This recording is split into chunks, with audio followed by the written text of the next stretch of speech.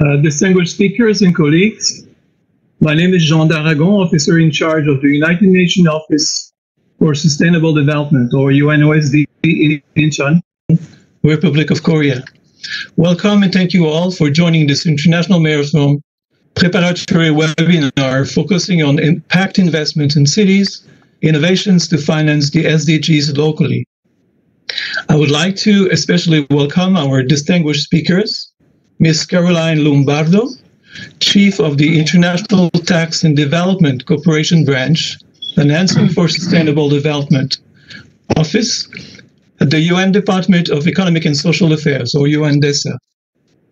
Ms. Bernardia Irawati Chandradewi, who's the Secretary General of the United Nations Cities and Local Government,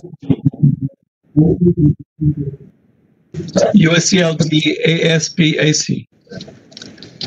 Um, again, uh, also the Honorable Mr. Jay Prakash, Mayor of North Delhi Municipal Corporation, Mr. Sudhir Bhatnagar, he's the CEO of the South Asian Region Department, or SARD, and Mr. Thank you. Uh, Raymond Sander. Thank you. Uh, and uh, Mr. Raymond Sander, Professor Emeritus, University of Basel. The, uh, the webinar is part of a series UNOSD is organizing on the topics of the International Mayors Forum planned in November this year. Through this webinar series, we aim to learn about the challenges that the local governments are facing, as well as potential solutions for a rapid and sustainable recovery from COVID 19 as we prepare for the International Mayors Forum. Impact investments are investment funds that can raise capital for national to local governments to achieve posi- positive social, economic, and environmental impacts to strengthen government services and outcomes.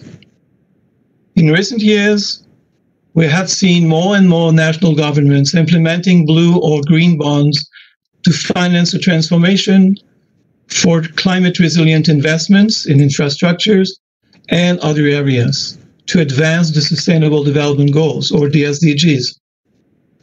In fact, the current uh, size of the global impact investing market has now grown to over 500 billion US dollars.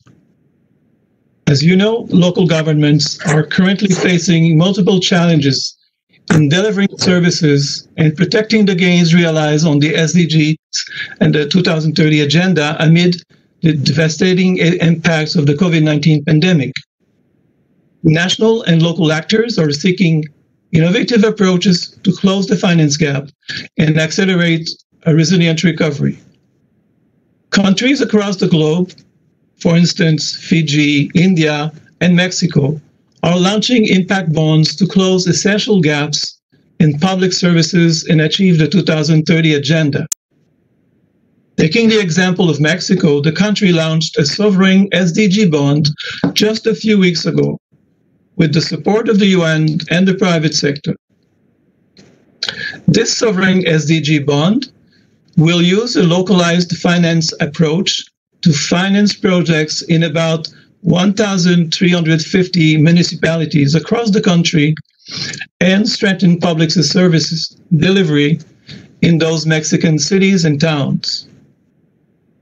This shows one way that, lo- that national governments can follow to enhance their support to local governments for promoting the adoption of impact finance and other solutions for a rapid and sustainable recovery from COVID 19 and accelerating progress on delivering the 2030 agenda. Today, thanks to our panel of speakers, we will explore how this new field of capital can raise funds to close financing gaps for the SDG implementation locally. We look forward to hearing their recommendations, experience, and critical insights and engaging you all in the discussions through the WebEx chat and Q&A. Thank you.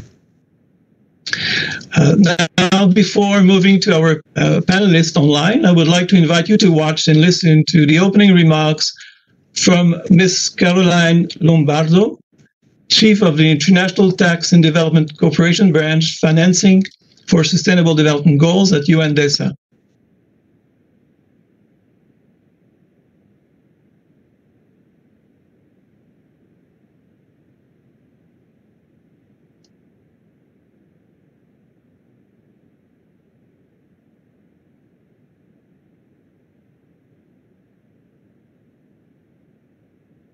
Honorable Mayors, ladies and gentlemen, I'm honored to address this 2020 International Mayors Forum.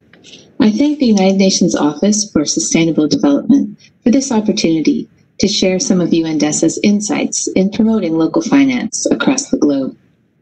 Strengthening local government finance to help achieve the SDGs is a timely topic. Local governments are the frontline responders in the COVID 19 crisis.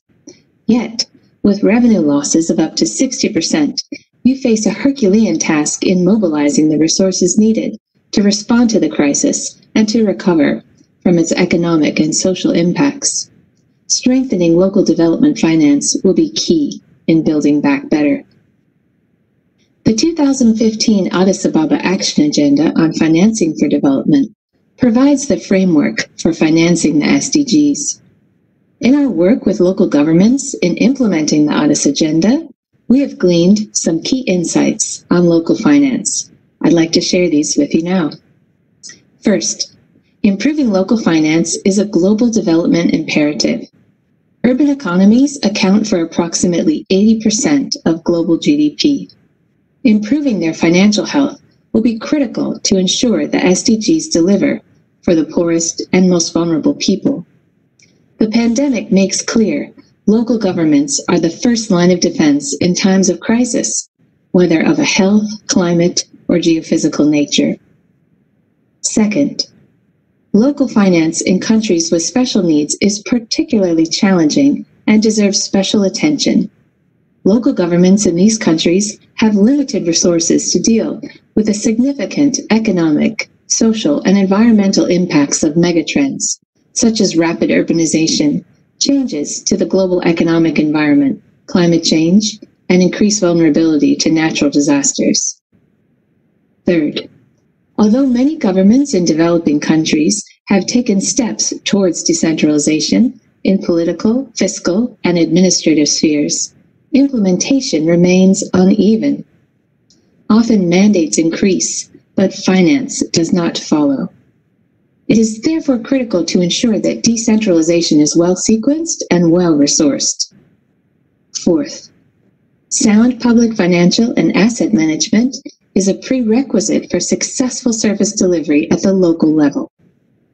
Management reforms tend to deliver results where they take into account local institutional capacities and are led by effective coordination arrangements to monitor and guide the process allow me in this context to draw your attention to our upcoming handbook on infrastructure asset management, which UNDESA will launch early next year with the UN Capital Development Fund. Jean will work closely with our team to put together a webinar for you on this important topic later this year. Fifth, while local revenues in developing countries remain insufficient to meet local development needs, important progress has been made where revenue mechanisms embrace a set of key principles. They include revenue adequacy, tax buoyancy, stability, correspondence between tax payments and tax benefits, as well as administrative and political feasibility and equity. At the same time, intergovernmental transfers make sense as part of the division of responsibilities between the central and local government based on their core advantages and competencies. Central governments have inherent advantages in generating revenues, and local and regional governments have inherent advantages in producing certain key services. Importantly, in times of crises, central governments need to increase fiscal support and ensure that fiscal stimulus measures reach the local level where they are needed most. Sixth, Given the enormous local infrastructure financing needs, we should explore new market based borrowing mechanisms to leverage and scale up local revenues. Government can help promote these mechanisms by building local capacity for project development, improving local creditworthiness including through asset management reforms, promoting local rating industries, using credit enhancement and risk mitigation tools, and creating a conducive legal and regulatory framework for local finance that balances financial stability concerns with greater access to credit. Moreover, national and municipal development banks or funds can play an important role in supporting and pioneering innovative financing mechanisms. In these efforts, we must remain practical and realistic. Very few local governments in developing countries have access to private finance. A careful assessment of the local context, institutional, political, and financial, must determine if and where such instruments deserve further consideration. Last but not least, there is much room to improve international cooperation on local finance. We need to focus on partnership development, better coordination, and a more focused division of labor in all areas of local finance. Donor engagement must be structured in a way that allows for a systematic handoff of projects to the local partner to ensure sustainability and scaling up of successful interventions. Honorable mayors, ladies and gentlemen, thank you for giving me this opportunity to share some of our key insights on strengthening local government finance for the SDGs including in the context of COVID 19 response and recovery. I would have been thrilled to join you in person.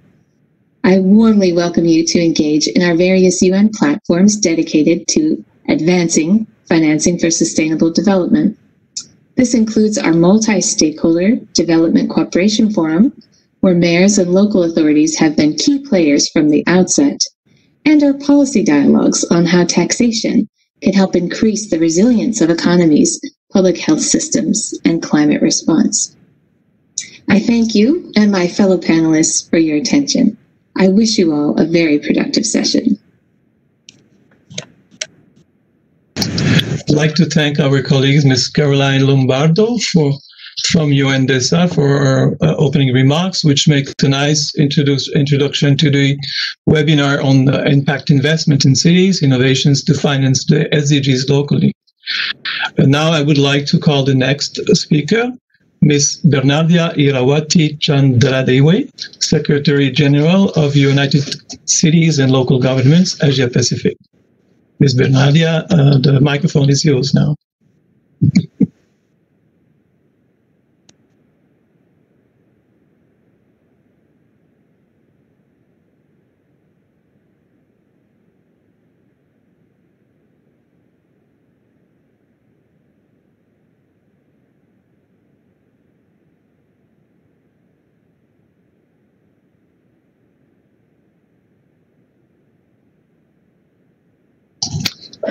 I think your maybe you know, your microphone maybe is in, is mute, and we we don't have your image either. Your video may not be on, Ms. Bernardia.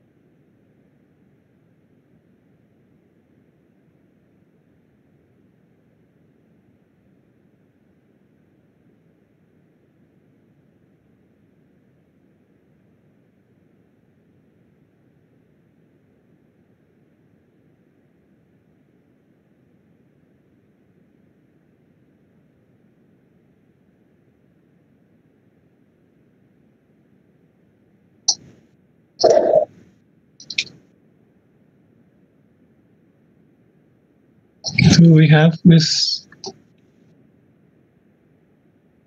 Bernardia uh, Irawati Chandevi?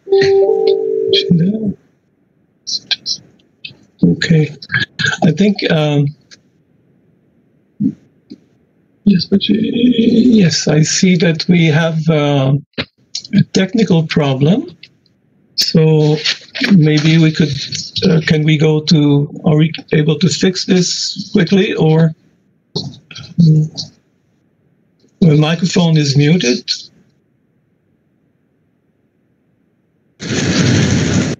Okay, just a sec.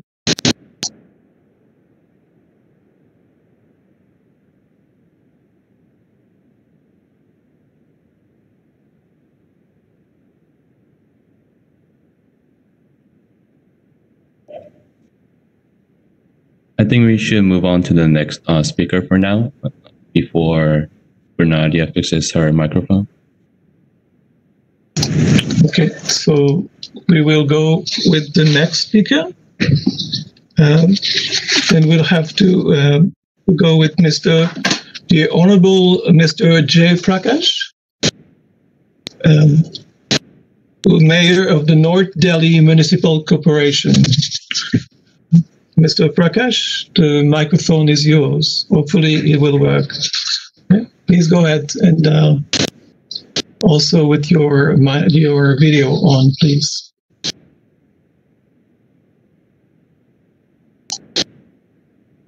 now you can. Namaskar. Honorable Chair, Secretary General of the United Nations, Office of the Sustainable Development Speakers, other dignitaries. It is a matter of honor to me to represent North Delhi Municipal Corporation as its mayor. I am thankful to my party for their visionary leadership, which follow a complete development agenda. In a progressive manner, I took over as the mayor during a challenging time of COVID-19 pandemic, pandemic with the help and guidance from my party leadership and support of my efficient official and support staff of the corporation. I am proud to say we have managed to curtail the pandemic spread and safeguard citizens of our area. The corporation deals in a variety of issues ranging from health and hygiene, sanitation, cleanliness, maintenance of public places of importance, public grievance, refusal, extending education, and also ensuing revenue generation through collection of taxes and maintenance of parking, etc. The corporation has all modernized civic services and ensure optimum use of these service to the citizens of, of our corporation. The most important service rendered by the corporation is the provision of free primary education through its 700 North Delhi Municipal Corporation schools, which caters to around 3,17,400 children studying in the classes nursery to fifth. Apart from this, there are about 20 aided school and 125 recognized schools. It gives me immense pleasure to say that during corona pandemic our teachers and school administrators worked very hard and made sure that they reach the children through technology online classes webinar and fun activities. This is as per the new education policy which was recently launched by the government of India under the dynamic leadership of our hon- Honorable Prime Minister Narendra Modi ji, this policy restructure school education by setting out three to six year as preschool age and dilute, the emphasis on board exam. This is a welcome change which reduce tensions of exam from children's mind. Society of all-round development SARD has been a pioneer in ensure educational reforms and have done it in an inclusive manner, enhancing quality education to children with the use of appropriate innovative technology. They are one of the partners in a program ensuring learning, learning level outcome with children. They are learning enhancement efforts with complementing learning resources with a digitalized interface has been peerless.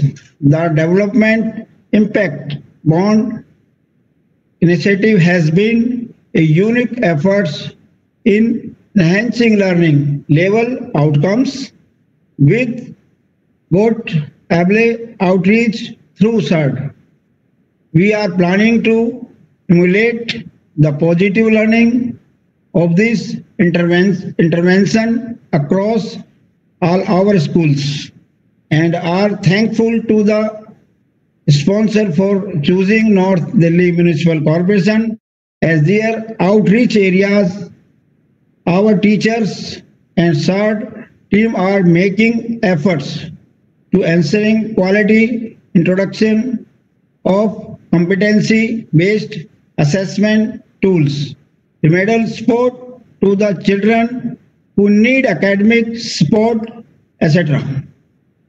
Without talking much of our time, I would like to thank the organizer for giving me this huge opportunity to showcase and enhance performance of our corporation. I would like to thank my official support staff, teachers, school, principal, SARD, and the donors and support organization of their collective efforts. I would also like to thank my party, the Bharatiya Janata Party, which has a visionary leadership in our Honorable Prime Minister Sri Narendra Modi ji. I am indebted to my party for the responsibility they have vested in me. I feel to have addressed the August gathering of learned people. I take the opportunity to invite other mayors and interested people and civic agencies to pay visit to our schools and participate in contributing for the developments of our corporation. नमस्कार जय हिंद जय भारत बहुत बहुत धन्यवाद thank you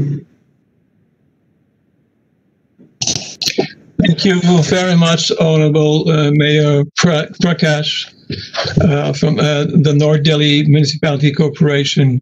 Uh, th- thank you very much for your very uh, interesting presentation.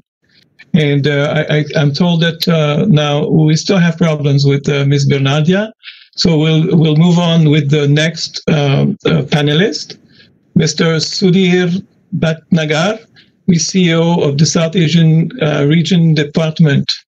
Uh, Mr. uh, Bhatnagar, uh, the the microphone is yours. So and then uh, please also um, uh, put have your uh, video on.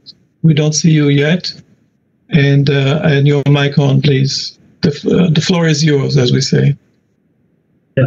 Thank you, Mr. Jean. Thank you, United Nations Office of Sustainable Development for giving me opportunity. Honorable mayors on the dais, distinguished guests, ladies and gentlemen. Thank you for giving us opportunity to share some of our learning with North Delhi Municipal Corporation. Let me tell you a little bit about SARD and then we will be talking about our education intervention with North Delhi Municipal Corporation. May I request to go next slide, please?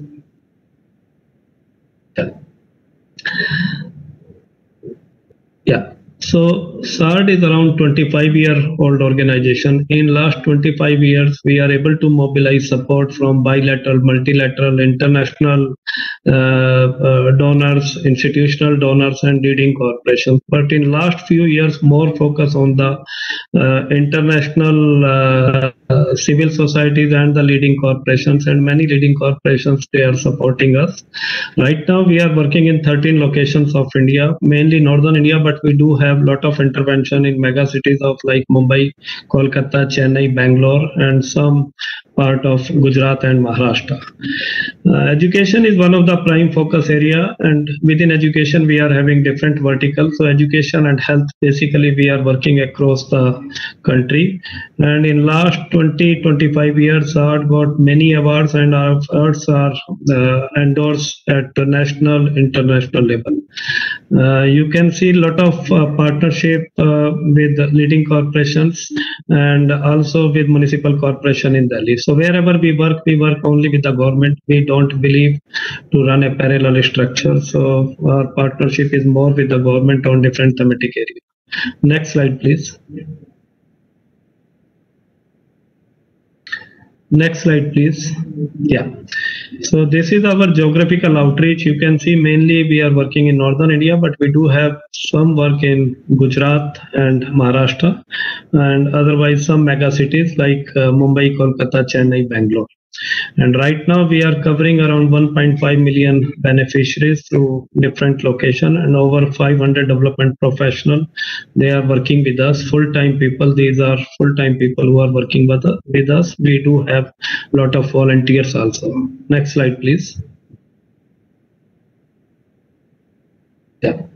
So our work is more or less aligned with the sustainable development goal. As I said that education transformation goal number four is the major focus area. And within education, we are also talking about uh, technology and gender diversity inclusion is a cross cutting theme, but we do have a lot of work on WASH and uh, you know skill development livelihood microfinance also.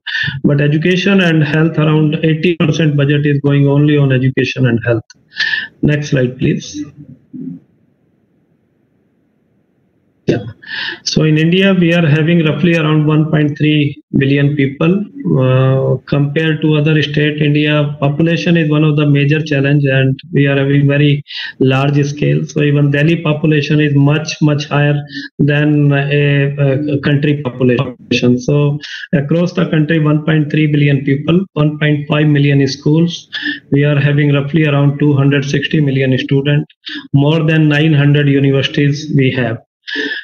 uh, education uh, training is one of the major focus area and unfortunately or fortunately 8.5 million teachers we have. So even teacher training is a big challenge for us and ensuring quality is a bit concerned because some people are talking about building infrastructure is a quality some people are talking about learning level outcome some people are talking about capacity building of teachers. So quality means different people are having different definitions but we are talking about appropriate learning level outcome and that is a bit concerned because india in last few years enrollment is not a big issue. That is no uh, more challenges with us. So enrollment is very much there. We are also able to retain our children but quality outcome that is a bit concerned. So grade appropriate uh, uh, you know the learning outcome is a bit challenge.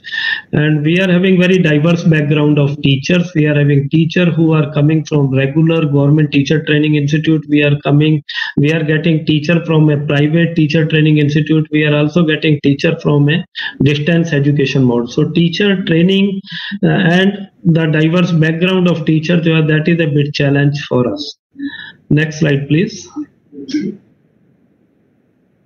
Yeah, you can just need to press. Yeah. So you can see the number of school and uh, these number of schools will, you know, tell you about the challenge which we are facing across the country. And you can see on the screen the total number of school and uh, uh, uh teachers and, uh, you know, students that I have already told you in my previous slide. So even in primary education, we are having 840, uh, 100, you know, uh, 840, uh, 1,546 schools around um, 8 8 million schools we have even at primary level. And if you are going at upper primary which we called elementary so you can add few more uh, you know thousand schools. So uh, scale is a bit challenge for us. Go to next slide, please. Yeah, so rural and urban areas. So still uh, we are uh, covering around you know 16% urban population and rest is the rural population. So uh, I think we are uh, uh, right now facing learning poverty. So learning is a big challenge for us because learning level outcome, everybody is talking. We had many researches and many studies and the government of India is putting a lot of efforts to ensure the learning level outcome and especially in the global learning crisis across low and middle income countries, just four out of 10 children will be on track. So this is the data showed by different agencies. Even the World Bank also quoted one of the recent uh, you know uh, their research that uh, majority of the children are deprived in terms of quality and they are facing learning poverty. So learning level outcome is a big challenge almost for all all the people. So including our most of the states they are still facing problem on learning level outcome. Next slide please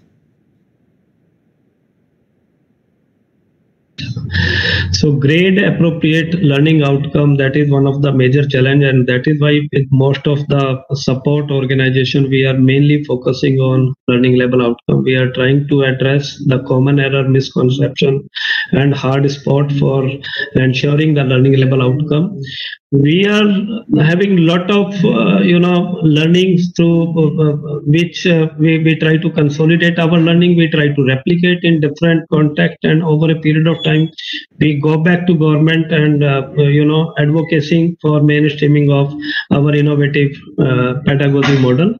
We are also having a lot of manuals modules. We are now designing textbook for different state government. This year we design workbook for government of Rajasthan, before that for government of Haryana, government of Madhya Pradesh, Chhattisgarh, Jharkhand. So now wherever we work, we work with the government. So we design teacher manuals, curriculums, interactive material. Now most of the SARD uh, content is available on uh, NCERT portal that is part of Ministry of Human Resource Development. So MHRD is having three very important portal on interactive material. One is Diksha. Diksha app they are having mainly for teacher. There is a another very important app called ePathshala. On ePathshala, anybody can download any textbook, any interactive material from grade 1st to grade 12th. And then we are having NROER, National Repository of Open Education Resources. So that is a repository where we are having more than 15,000, uh, uh, you know, resources. Anybody can download interactive material, textbooks, quiz, approach papers, white papers. So everything is available on Ministry of Human Resource Development development portal. So these are the three important portal which uh, Ministry of Human Resource Development and fortunately SARD is having all this material available on this Government of India portal. So SARD agenda is very much aligned with the government. In schools also we have set up child resource center. So in my coming slide I will be talking more about child resource center, how these centers are very unique to address the learning gap and how we are working very closely with the teacher. So curriculum community development, teaching, monitoring, assessment. This is a ongoing thing. This is part of our innovation. Even the assessment tools are very different and that is based on the competency and we do have uh, tools based on knowledge application understanding and these are easy moderate difficult so over a period of time we reshuffle the tools also and uh, we are helping now in designing these tools so there is a dedicated portal where all these tools are available and anybody can download and school teachers are getting help from that uh, feedback management system. So all the SARD resources and government resources are available on FMS portal. Anybody can download. The only thing school need to create their own id and they will get all these material from one single window so around the year we are having lot of uh, in-service uh, teacher for government school teachers and after training we are having a lot of follow-up and follow-on. So not only training but follow-up and follow-on is equally important. So next slide please. Yeah. So we join hand with Development Impact Bond uh, around two years back, and this is our third year. We just started, entered in third year, and you can see the scale also. The scale is quite good, and, and I think this is one of the biggest uh, uh, social impact bond on education in the world. And fortunately, SARD is one of the partner. This is supported by British Asian Trust, UBS Optimus Foundation, Michael Susan Dell Foundation, Tata Trust, DFID, and Mittal Foundation, Comic Relief Foundation. So many leading institutional donor corporate they came together and they are supporting us. And this bond is little different compared to the regular grant. So if you are doing good you are getting reward. If you are not able to do so your grant is also deducted. So this uh, this bond is i think probably first time launch and fortunately it is launched with niti aayog. So niti aayog is like a planning commission to government of india. So initially it was planning commission now the name has changed. So it is called niti aayog and Niti Aayog is putting a lot of pressure to mobilize resources from leading corporations and uh, you know the, the, institutional donors. And fortunately, SARD become the part of this uh, first uh, social impact bond in India. So right now they are having four partner, and uh, each partner is having different unique thing. Like some partners are working on principal leadership, some partners are having their own government aided school, but SARD is directly working with government school children because we don't believe to run a parallel structure. So wherever we work, we work only with the government. And we are implementing this program with North Delhi Municipal Corporation. And Delhi scenario is little different compared to other part of uh, the country. In Delhi, we are having six civic agencies. We are having, uh, you know, the uh, as, as regard the uh, municipal corporations are concerned, we are having trifurcation in municipal corporation, North Delhi Municipal Corporation, South Delhi Municipal Corporation, East Delhi Municipal Corporation, and then we are having Delhi Government School, we are having, uh, you know, the Delhi Cantonment Board, and we are having Nai Delhi Municipal Council. So each agency is having their own set of school, and each agency is having their own mayors, or their political stakeholders and their commissioners, their other bureaucrats. So the, the system is little co complicated because you need to uh, uh, coordinate with all the agencies and ensuring learning level outcome. And different agencies are having different directions. So I will speak more about in my coming slide about this DIB program. Next slide, please.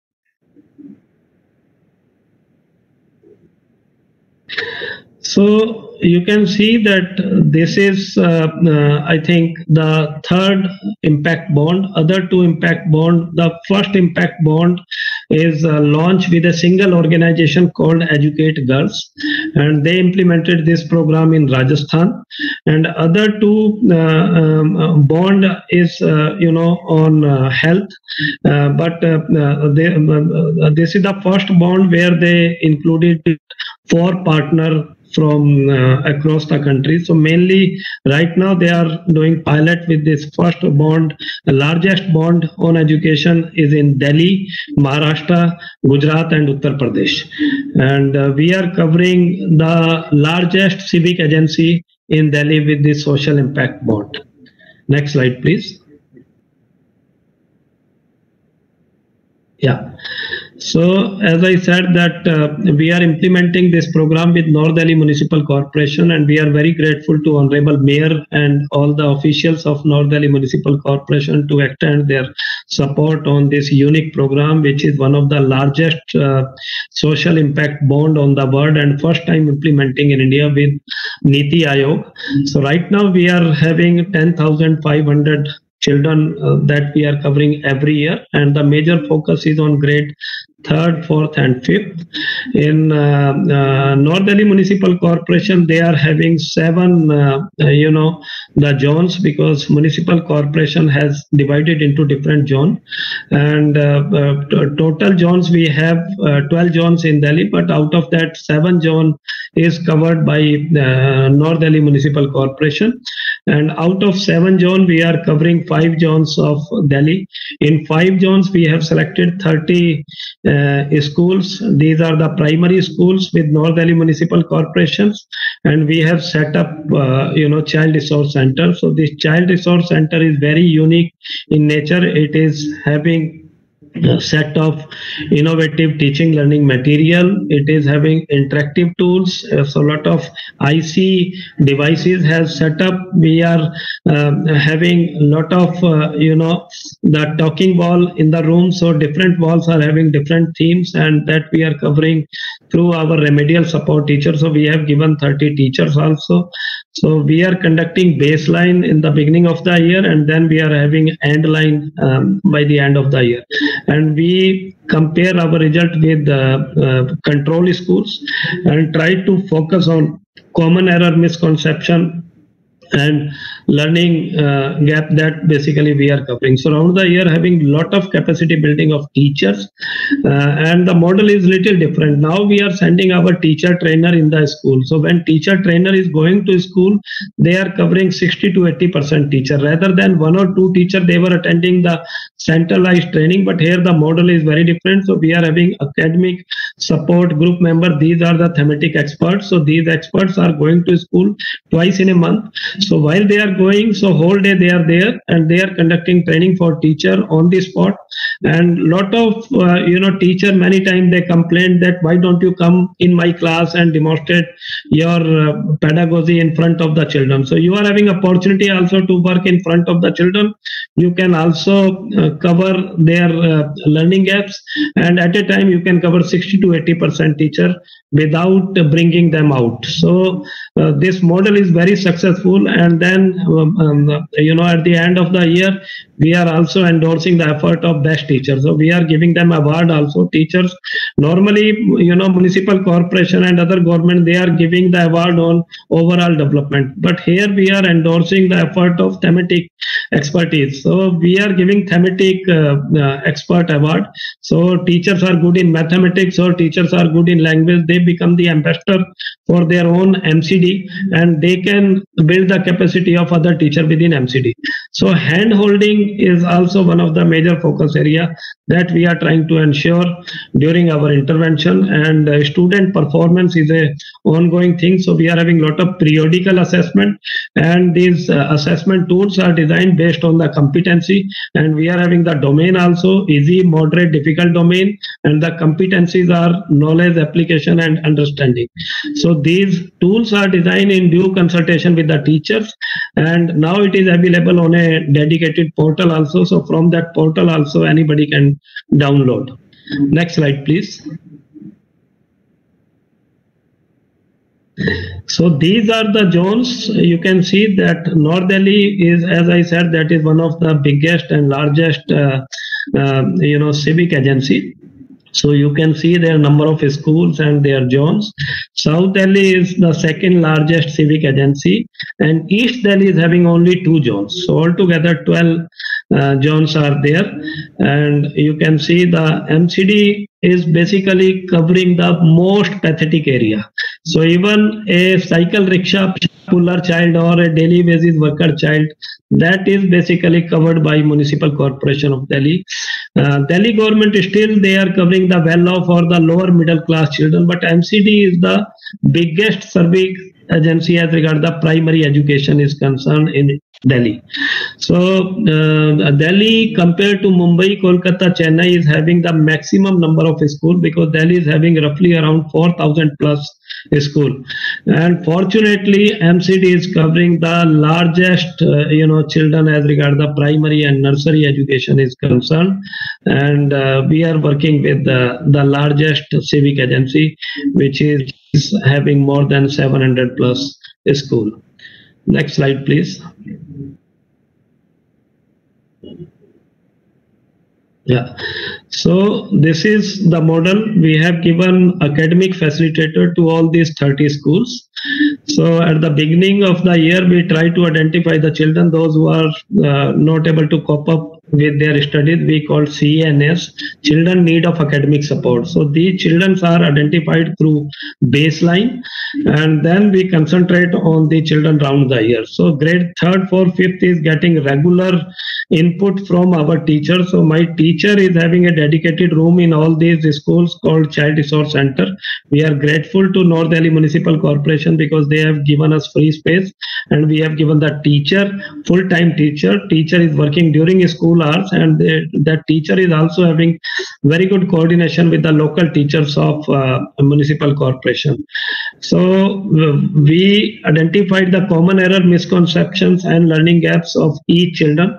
We are also maintaining all the data so student wise also one can track what is learning when they had the periodical assessment. And uh, around the year the, the, they are having lot of input lot of quiz puzzles games are there and now we are having uh, interactive tools also and uh, because municipal corporation they have set up smart smart uh, lab almost in all the schools so even in smart lab also children's not only cns but other children of grade third fourth fifth they are also getting input from our teachers. So my teacher and government teacher they are working very closely. And we do have lot of workshop on general issues also with the teacher. Like during uh, corona pandemic we had very good training on gender. Because gender is equally important for primary school children. We also had another very important training on life skill. So 21st century core life skill. So we are also conducting a lot of uh, important training even on positive discipline also we are conducting training. Protection gender inclusion is a cross cutting theme. So i'm not talking about isolation. So that my team is conducting training. We have centralized training also but uh, my uh, academic support group member they are visiting these schools. So we are having a pair one language expert one mathematic expert. Both these experts are going together. And they are giving input twice in a month to these teachers without bringing them out. So actually we are not investing much money. We are not hiring the hall. We are not spending money on refreshment. We are not giving any transportation charges. So we are not giving any honorarium to the resource person. So these thematic experts around the year they are having lot of follow up and follow up and this model is really very successful. And then we are also identified the thematic expert within the government and we try to recognize them. And i will show you the result in last two years and this result is also you know conducted by third party assessment. So uh, that also i will show you in my next slide. Next slide please so you can see the result, first year result, because that was the beginning of the year. We joined only in uh, September or October, and March we were having the end line. In fact, in Feb we had the end line because March the formal result is announced by the school. So we were having only four, five, six months. So during that time, because new civic agency we never worked before this North Delhi Municipal Corporation.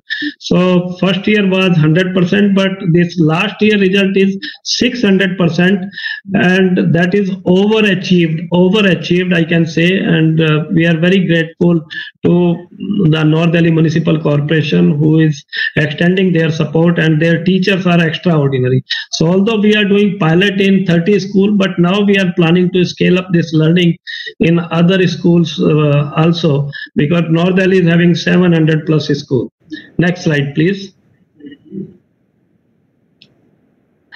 So you can see grade third and fourth focus, and uh, you know now fourth result is also very good because uh, the first year when we started our intervention, during that time the children were uh, in grade third, so you can see their beginner level was very high, and now you can see the beginner level is reduced.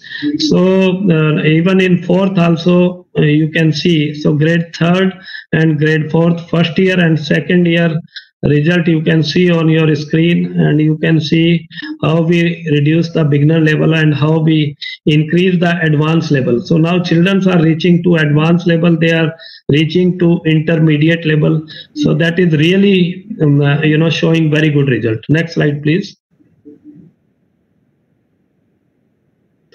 So government of India is also putting a lot of pressure on ensuring quality.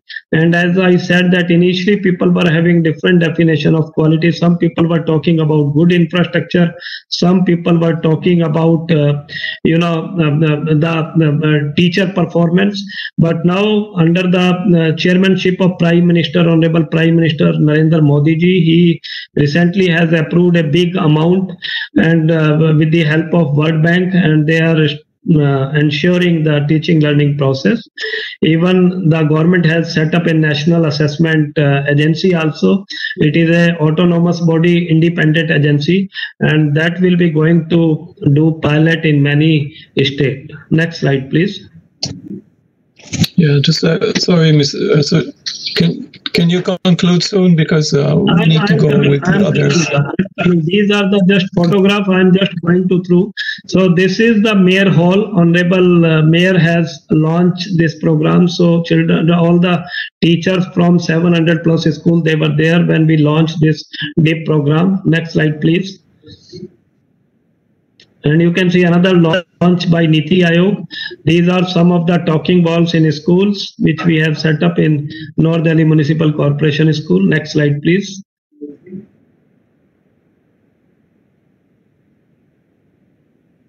So some of the classroom processes you can see on the screen. Next slide, please.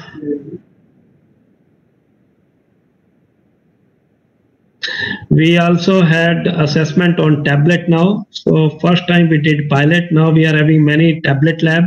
Even we are having many smart lab also. So children are very good even on these technical devices also. So they are showing very good result. Next slide, please.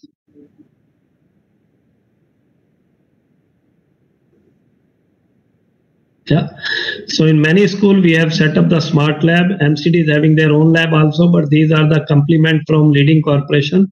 So even HP, Oracle, and other leading corporation they are extending their support, and they have given very advanced devices. Even 360 degree laptop you can see on the screen, and there is a very advanced e podium that also we have given to many school with the help of leading corporation. Next slide, please. Yeah so around the year having lot of training. This model is little different. As i told you now we are sending our trainer to school and they are conducting training in house during school hours with the teacher. Next slide please.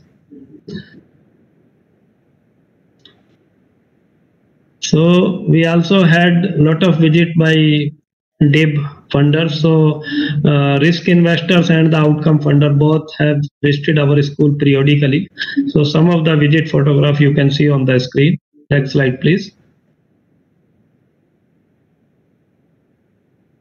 Yeah these are the worksheet. Even during corona time also we have sent all these worksheet online and we are getting very good result. Even the online quiz puzzles that also we have introduced during corona time children are showing performance. And we have created google sheet also. So school wise now we can track the data. Next slide please.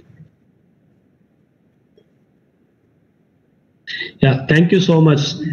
Thank you and you all are welcome to join hand in India with uh, our municipal corporation of Delhi. Anybody is interesting, you are most welcome. And we are very much in the heart of India. Thank you. Thank you very much, Mr. Sudhir uh, Bhatnagar. Uh, this was a very interesting, uh, interesting uh, presentation, and then uh, I would have questions, but I, I, I will, know, to, to not in the interest of time, I will uh, go uh, right now, right away with uh, the next presenter, Mr. Raymond Saner, uh, in the Professor Emeritus of University of uh, Basel. And Raymond, uh, the floor is yours and the mic is yours. Thank you very much. I don't know. Can you see my slide? Um, do you see it? So far, no. Um, We don't see your slide. I don't see your slide, so I think yes, it's coming. it's coming. Okay.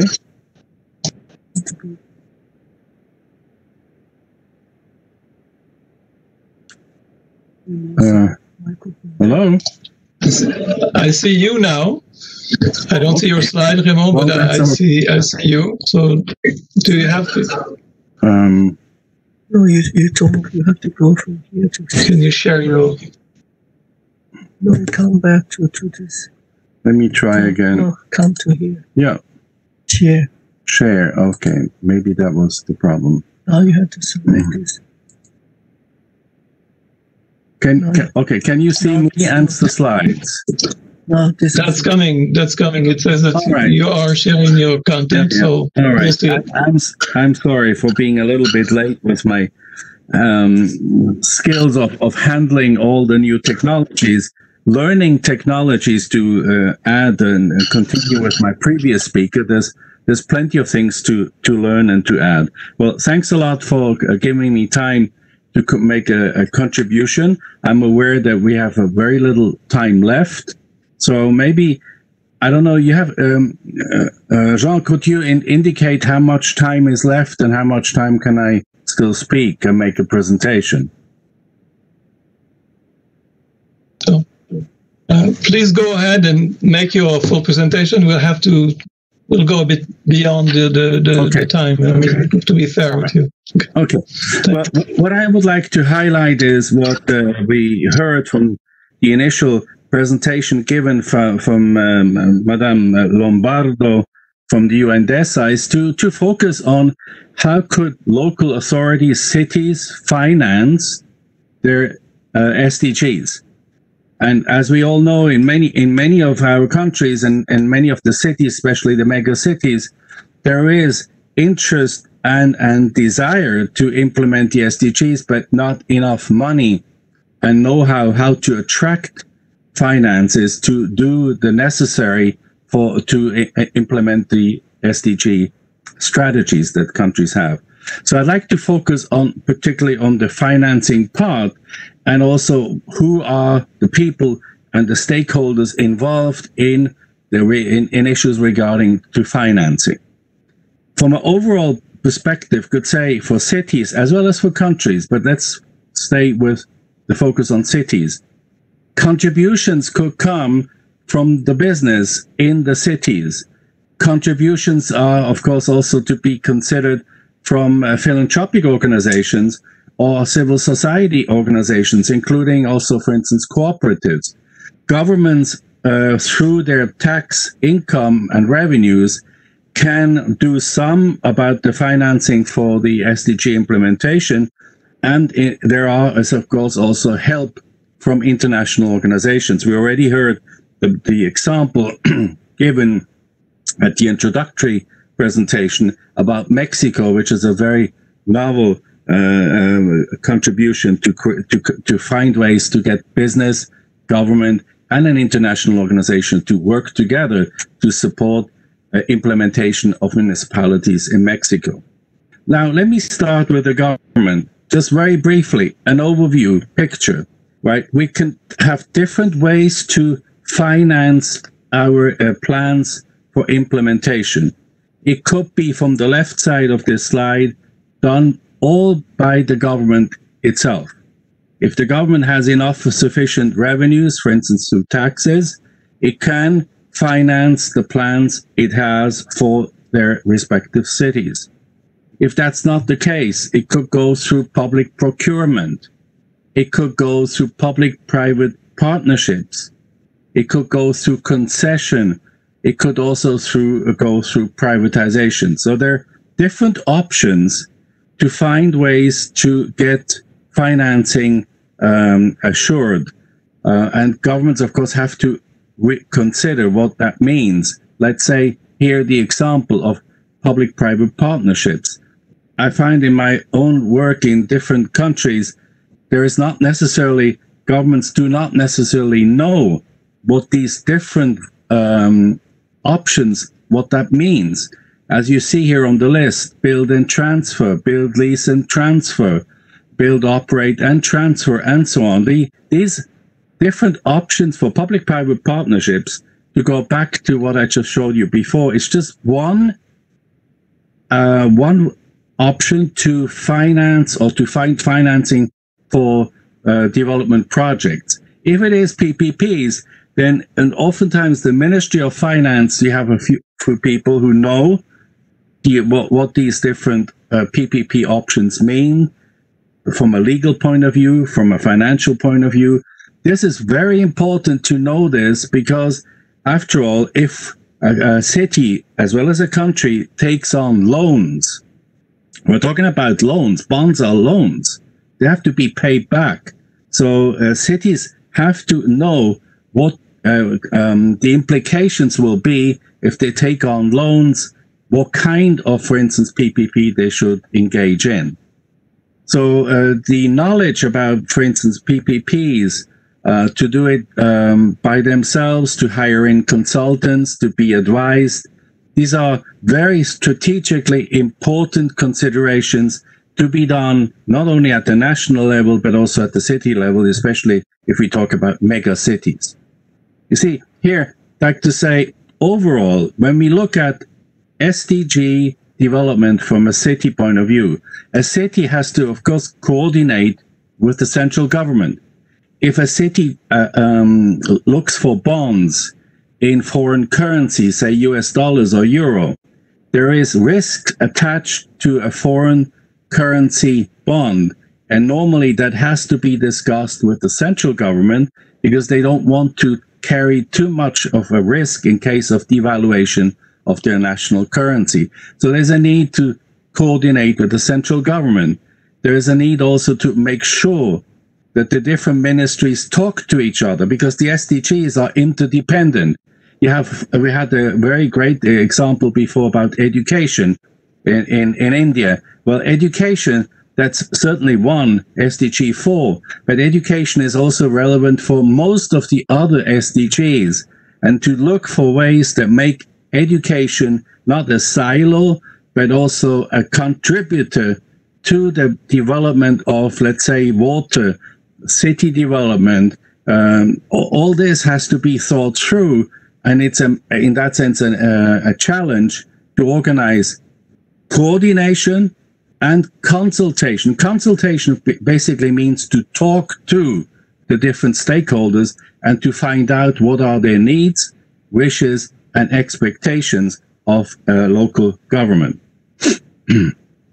now, uh, let me move on in the interest of time. I already mentioned that about the coordination and consultation. Now, let's look at business. What could business do to help a city find the financing for its own SDG implementation. There are lots of new developments. You've heard already maybe from social impact investing, impact bonds, outcome based contracting, uh, and I will say more about ESG, economic, social, and good governance investment, as well as others where you find a lot of very interesting webinars that you could uh, watch and, and be and become informed of all these new instruments which are being discussed and tried out by uh, partnerships from the uh, private sector, financial sector with uh, the respective governments. Now, to say, uh, as an example, ESG, environmental, social, and good governance investment for uh, uh, for private sector participation in partnerships with governments. It came about in 2004, and it was the time when the Secretary General Kofi Annan took the initiative to write to 50 CAOs of major financial institutions to basically invite them to come discuss and find out how could they contribute to the UN Global Compact. And that was done also together with the IFC from the World Bank and the Swiss government. The discussion then started to define what could be done to make financial infrastructure related investment to make it sustainable, to make it fit also with the other requirements of the SDGs. So ESG type of infrastructure financing should ideally be able to fit into this um, uh, picture, that it would address basic needs of the population. Uh, it should empower major uh, stakeholders. It would address climate change, in, in that sense, reduce the risk of climate change, have also a way to not be uh, uh to, to, to not um, be too heavy on the use of natural capital and to make it a governance approach that will be corruption free and will be transparent and participatory. So there is a lot of talk in the financial sector about ESG based infrastructure uh, financing.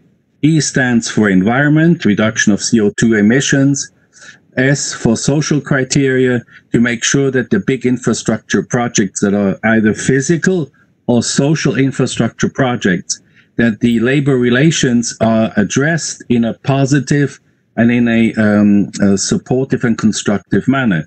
G, uh, governance, I already mentioned that before, that the decisions will be effective, that the infrastructure project will be complying compliant with the uh, law uh, of, of the country, and it will meet the needs not just of the brokerage firms or the or the banks, but also of the other different stakeholders who will be, uh, be ideally then be benefiting from such a ESG based financing of physical or social infrastructure.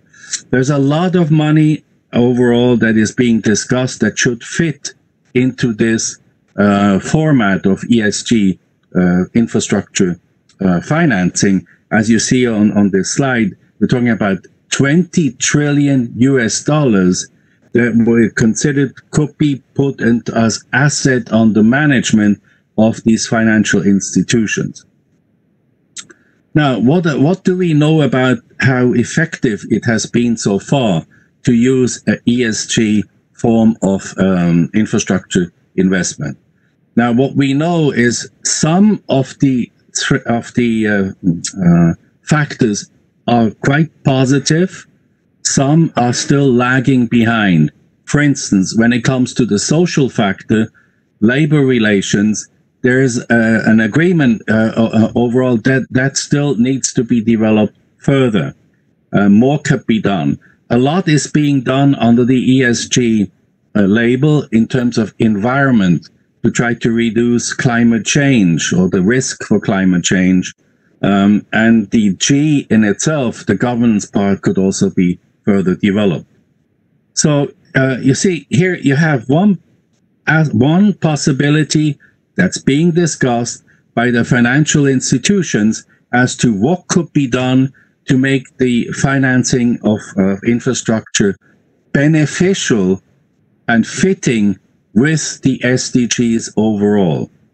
International organizations has been already mentioned, uh, for instance, have recently, um, uh, you heard from uh, Mr. d'Aragon, uh, there was this very interesting new development of a partnership between the Mexican uh, government, UNDP as in that sense as a consultant, as an expert, and a group of banks who finance the development of municipalities, 1,345 municipalities of areas in Mexico where poverty is still very uh, strong, very high, and how to develop these areas based on a concept that the UNDP is advising them. So just to give you an example as as to what could be done about financing of uh, cities in areas that need to be supported, as as is the spirit of the SDGs, is to reduce poverty, to make be more inclusive, to to take everybody on board as much as much as that po- is possible. Civil society organizations. Let's look at briefly at SDG 17, which 17.17 is about uh, PPPs. Now, the text itself clearly states encourage and promote effective public, public, private, and civil society partnerships. So it's not just only about uh, money. It's not only about financial institutions who are more or less willing and able to do their best to make financing of infrastructure to be more fitting uh, uh, um, with the SDGs. But there is also a lot that our governments can do with civil society organizations.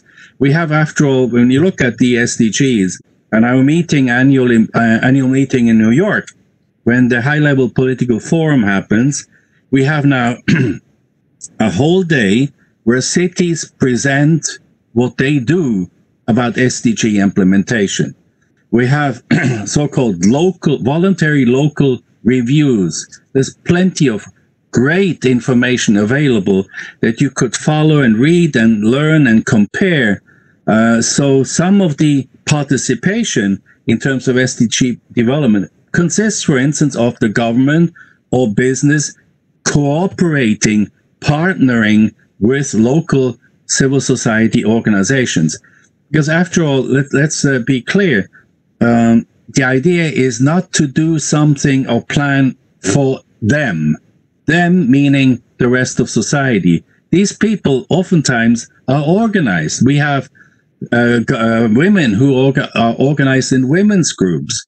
We have uh, different groups that are, due to their interests, due to their also organizational capabilities, they could also contribute to uh, implementing the SDGs at the local level.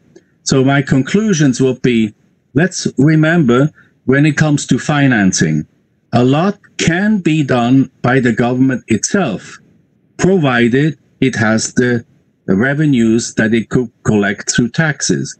Now, in some countries, the taxes are very low, hence the revenues are very low as well, and not much could be done through the government.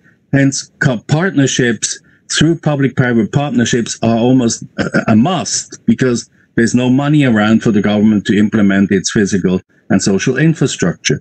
But if that's the case, you still have to think about, you know, if it's bonds, the bonds have to be paid back. So we, we should be mindful of looking for instruments in partnerships with the private sector and the banks and the government and civil society that are promising sustainability. And so it's not shifting a lot of responsibilities to pay back the loans to the next generation. It should be meaningful in a sense of intergenerational justice. You have more information about what I was just uh, talking about. And of course, our friends and colleagues at the United Nations Office of Sustainable Development who have organized this event. They have plenty of very, very informed and very competent people. So we, I think, which is, in other words, my, my closing is to say, we count on you, Jean, and your whole team to sh- further share all the great information that is now uh, showing up, how to finance sustainable development also at the city, at the sub-national level. And that gets me to conclude. And thank you very much for your attention. Thank you very much, Professor Saner. Uh, Raymond, uh, this is uh, thank, thank you very much for. I mean, we we we ourselves rely on experts like you also to help us to to provide information and then uh, to have uh, critical insights in all those things. Thank you. It was very informative. Your presentation was very informative. Uh, I will go now directly to. Oh, I think we could hear Miss Bernardia uh, Irawati yes. Chandlewi. Uh, please, uh, sorry for your. I'm not good with names, yeah. but it's a pleasure to have you uh, on board. So please, uh, thank you. Uh, uh, Go ahead. Yes. Thank you very much. Uh, very good morning, very good afternoon. Uh, greetings from uh, UCLG ASPAC Secretariat in Jakarta. First of all, uh, it's really a great pleasure for me to join this event. It's very important topic because it's about finance. Uh, and thanks uh, to uh, United Nations Office for Sustainable Development for inviting me. Maybe before, uh, yeah, can we go to next slide, please? Um, because I, I, I was told that I should run RAS. so uh, yeah, this organization is basically a global organization uh, connecting more than 250,000 cities and local governments in more than 144 countries. And I'm covering this Asia Pacific. That include China, India, Indonesia, all the countries in Asia Pacific and uh, we we uh, we are the largest actually regional uh, section of UCLG. So the mission is to be united voice and world advocate of local governments. We are actually facilitating in the U United Nations this local governments advocacy. So can we go to the next slide? So we cover almost 3.76 billion people. I don't think I can. I should elaborate more about this Asia Pacific. I think uh, all of uh, speakers uh, aware how important this region is because uh, uh, more than 50% of our population now live in cities, and then uh, 58% of the population of this is a productive population and more than 50% also a young population. So it's very important. But I also would like to highlight here the importance of resiliency uh, uh, because uh, this, this region is very prone to disaster. And we also have a great value of the uh, contribution from the local econom- economic uh, development given by small medium enterprises. Like uh, in ASEAN, these SMEs contribute more than 51% until 97%. Yeah? So um, uh, we have been working on the localization of SDGs because uh, I think we all aware that uh, almost 65% of the uh, SDGs target must be done at the local level. This is why for us uh, uh, raising awareness on SDGs as well as making integration of the SDGs into local plans and also implementation that will be that, that a crucial part of our work. So, um, um, uh, and this is uh, why we, we play uh, and we work very closely with the local government associations uh, because they also have an important uh, role to play here. Uh, and then we promote a peer-to-peer exchange as well as the best practices exchange and making a substantial effort to disseminate global agendas and mobilize members as well. So um, uh, I think uh, previous speaker mentioned about the the VLRs, uh, voluntary local reviews, and now we are working on. And when we look at the VLRs, almost a big number of VLRs come from Asia, and then now we are preparing the voluntary sub government uh, uh, review in several countries at the global level, including two countries in Asia. So in the next slide, uh, you see uh, what we have been doing in this uh, situation. Um, uh, we, we have been also fostering knowledge exchange. Uh, we have been compiling the uh, mm-hmm. cases, how local governments responding to COVID, and also by also producing these guidelines, how these you know local governments could handle for, for the COVID. And we also uh, provide and facilitate these uh, uh donations uh, from uh, cities to other cities so through city-to-city cooperation and capture also smart practices and advocacy and policy recommendation by having a policy recommendation. And the other aspect that we are fostering is on the uh, alternative financing. Uh, I think uh, we also are aware that uh, sectors that are affected most by this COVID is, of course, economy and especially uh, in tourism. So we are uh, doing also some kind of uh, virtual events and connecting with some providers uh, for telemedicine as well as tourism. So in the next slide, uh, you will see that um, uh, I think this is a, in the current situation, we are decision makers and the crossroads.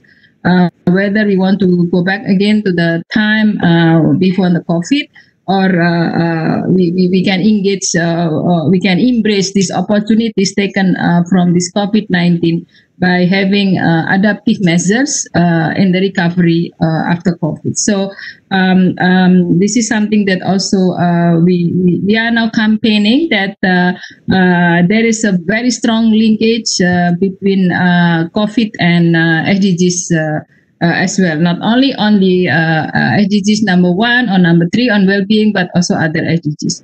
So in the next slides, you see um, limited progress. I think I will just skip here. Uh, because uh, um, uh, because of there are also on track stagnant and regress of the SDGs targets. And let's let me go straight to the in, investment part. This is on the financial options. The next slide, please. So alternative financing towards SDGs, I think the previous speaker mentioned uh, so much uh, variety of the financial options, which is I really appreciate. Uh, uh I think this is what I, am going to share is the case of Indonesia uh, the financing towards the SDGs. They have they call it SDGs one by compiling uh, uh pooling uh, resources available uh, for SDGs implementation.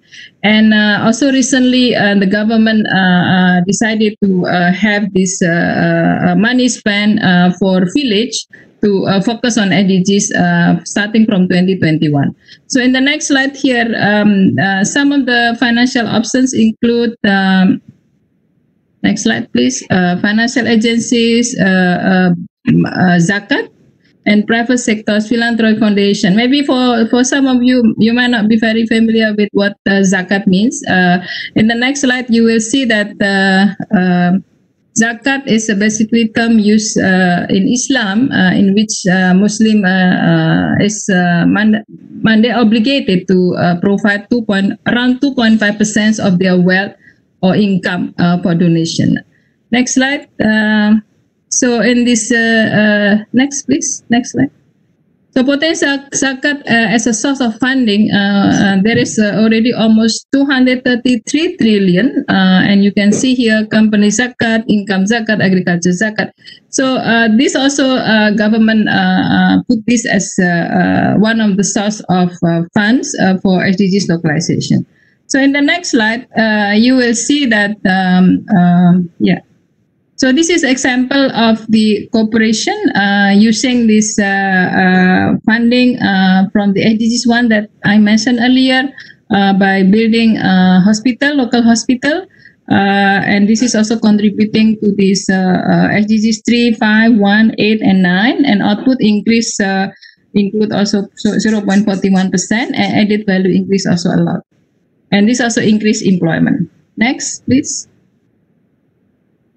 So this is my uh, three uh, remaining slides. So philanthropy also has been uh, contributing to this uh, SDGs localization uh, by providing donation, uh, also having a trading, equity capital, impact assessment, blended finance. And then next slide. Um, yes, next slide, please. Yeah.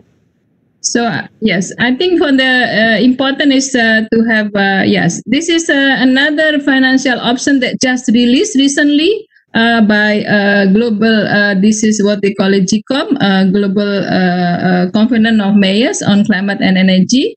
In the next slide, and we are the funding of the GCOM, this is a commitment of cities around the world to mitigate and adapt climate change. Uh, in the next slide, uh, you see that, um, next slide, yes. This is a, we call it Climate Gap Fund. Uh, this is initiative of GCOM uh, together with German and Luxembourg government. It was announced in September 2019 and launched recently, uh, virtually. So it aims to mobilize uh, more than 100 million euros and in order to unlock up to uh, 4 billion euro in project financing. So uh, UCLG ASPAC is currently uh, serving as the secretariat of GCOM for Southeast Asia. So in the conclusion, uh, I think this is the last slide. Yeah, I think I can skip this. So maybe in the conclusion, I will uh, highlight a little bit more in terms of uh, why um, uh, many many cities, local governments cannot access this finance. I think the important aspect is about the uh, uh, important of having conducive environment because uh, what local governments uh, need uh, authority mandate in order to access different kind of finance, including taxation, or maybe creating bonds and having PPPs and uh, public-private partnerships. And like uh, in Indonesia itself, uh, there is up to now, I think there is no single municipal bond release by any municipalities. And and West Java was trying to West Java was planning to have it but I, have done. I'm not sure if it's already released uh, uh, this municipal bond. So um, uh, important is having a good regulation, uh, also having uh, guidelines, and local governments also have lack of capacity uh, in creating or, or, building a form, form of what they call it public-private partnerships and they also sometimes are not aware how this uh, risk uh, could be also shared. So um, uh, I think it's important to have to increase the capacity of cities and local governments, particularly in develop developing countries, in order to have these PPPs on place. And uh, uh, lastly, I think um, uh, there are a lot of finance access that local governments can do, but local governments also have limitation in terms of making bankable projects or programs, and sometimes credit worthiness level is not high. So um, I think I like to conclude by saying that uh, the opportunities are huge uh, for uh, financing this SDGs implementation. But important is that um, local governments uh, should be given a mandate, should be given uh, further authorities uh, to do that. Thank you very much.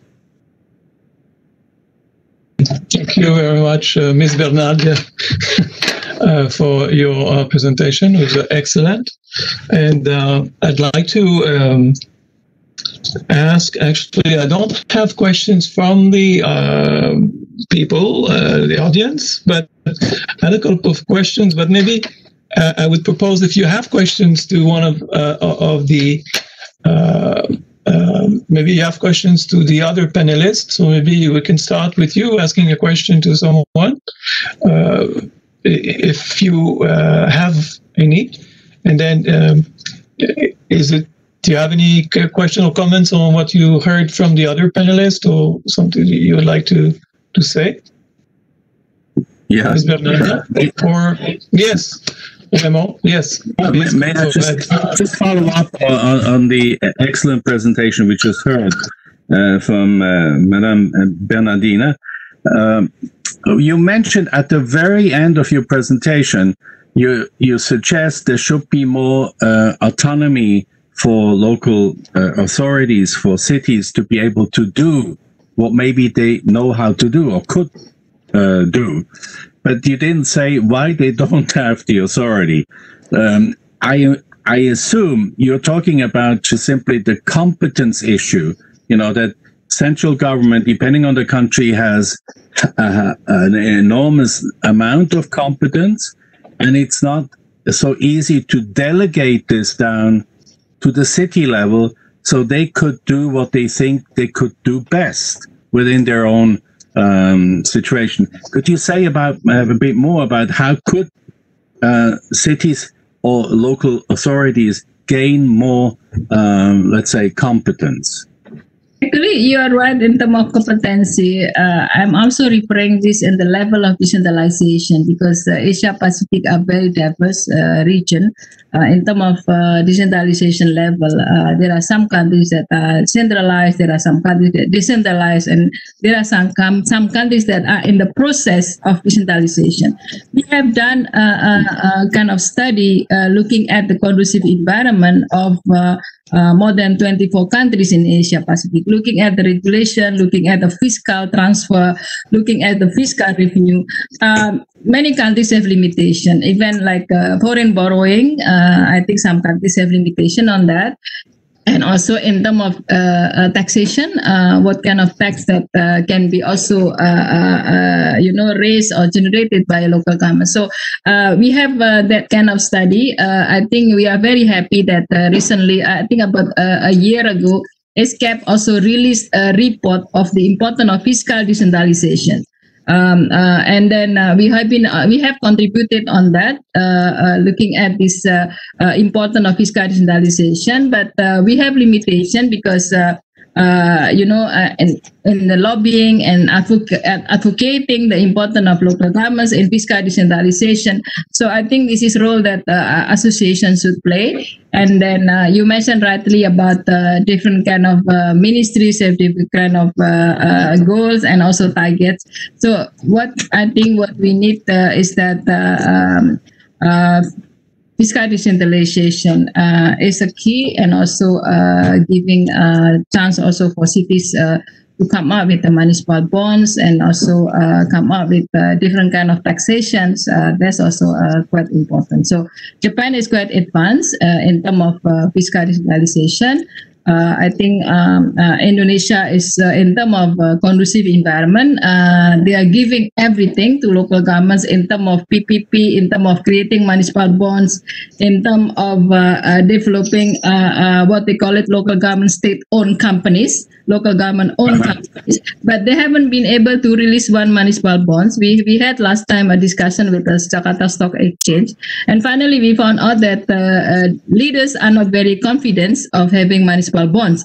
Uh, I think uh, this kind of in in, uh, in addition, uh, uh, you are you are given uh, enabling environment, but you don't use it sometimes. You see, so I think we need to put together a level of decentralization. And the other aspect is about capacity, competency, capacity. So I think having trust. Even Jakarta has not released uh, one uh, single bond, uh, you know, in infrastructure. Uh, so I, in, even Jakarta is able to do that, but they haven't been uh, released any municipal bonds. I think one uh, aspect is about uh, confidence uh, among the leaders, local leaders particularly. They want a coaching, they want to be coached, they want to be kind of guided on these aspects. Yeah. Thank you. Thanks. I hope I answered that. Yeah, very much so. Thank you.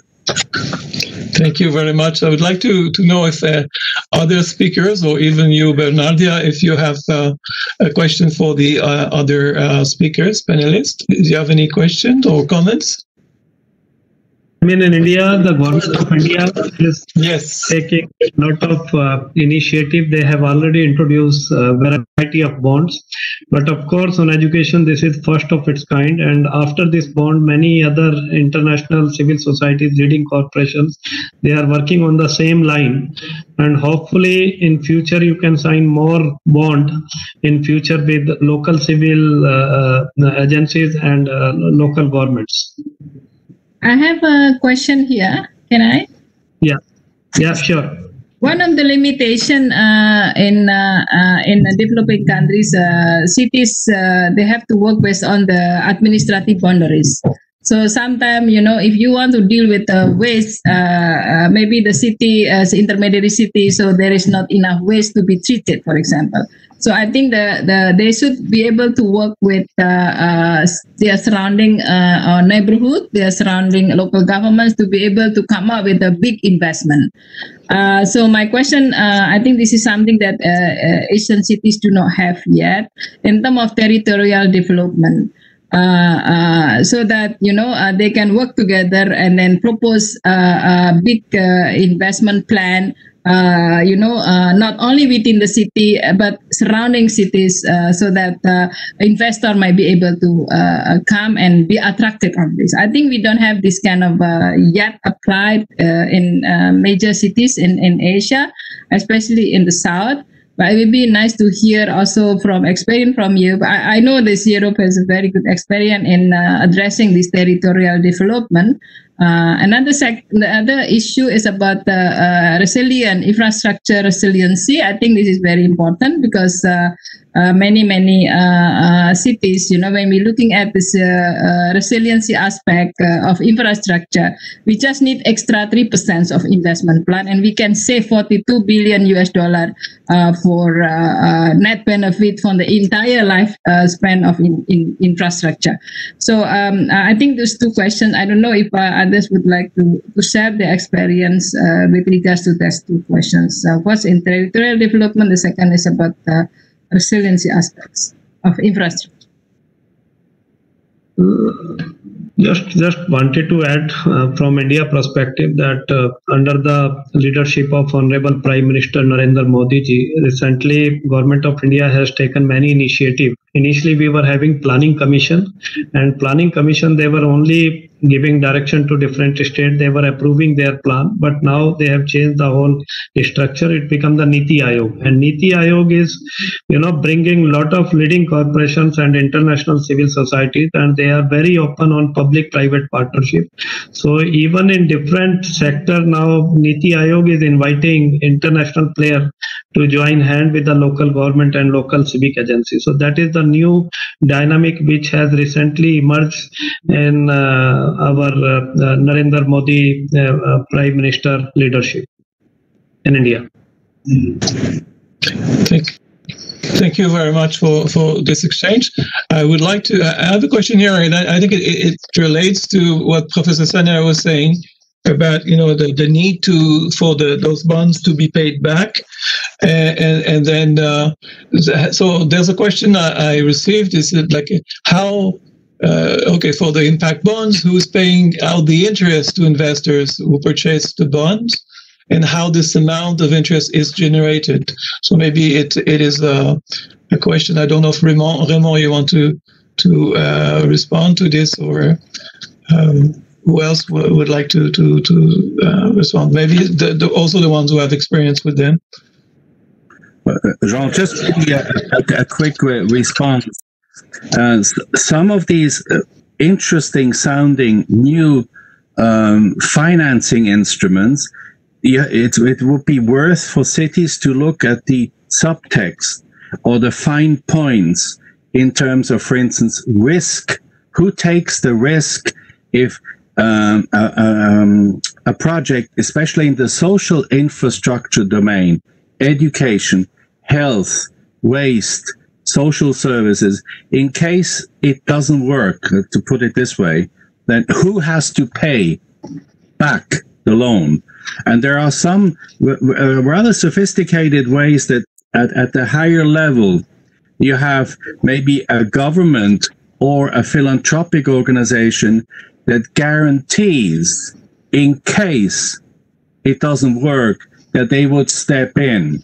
So the, the, the, the structuring of these new financial instruments, it's very, very important to have locally competent people who understand the fine points so it gets to be on the right track. And it doesn't you know it, also the other part that i wanted to mention but i didn't have time before governments of course change there are new elections or civil servants move on to another job in the government or move to the private sector.